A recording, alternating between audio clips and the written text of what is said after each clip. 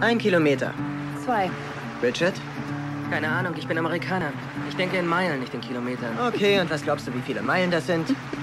Wenn wir es nicht ausprobieren, werden wir es nie erfahren. Hm. Du hoffst und du träumst. Du glaubst nicht daran, dass etwas wirklich Besonderes passieren wird. Dann stirbt ein Mann, hinterlässt dir die geheime Karte zu dieser verborgenen Insel und dein Leben verändert sich völlig. Und du kannst nicht mehr zurück.